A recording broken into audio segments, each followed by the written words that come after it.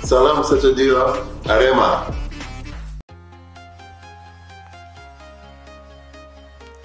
Assalamualaikum warahmatullahi wabarakatuh. Salam olahraga.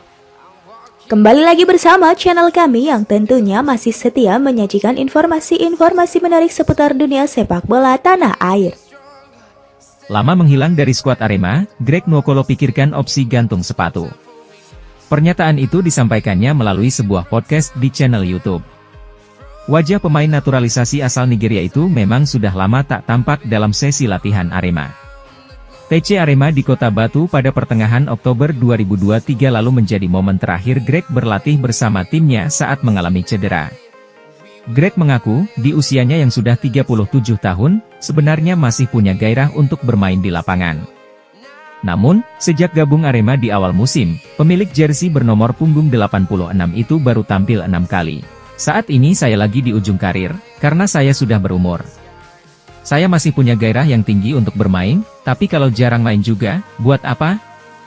Mending berhenti saja.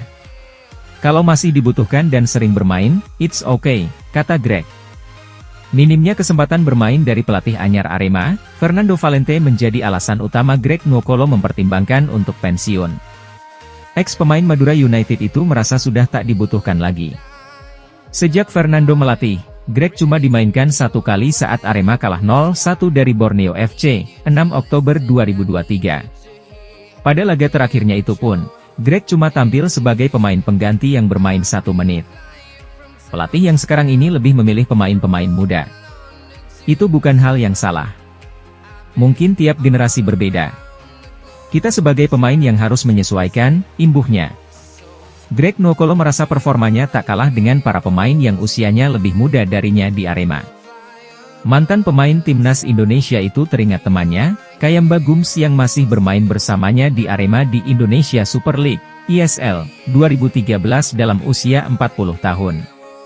Kondisi fisik tiap orang berbeda-beda. Saat itu belum ramai media yang sedikit-sedikit bilang pemain sudah tua.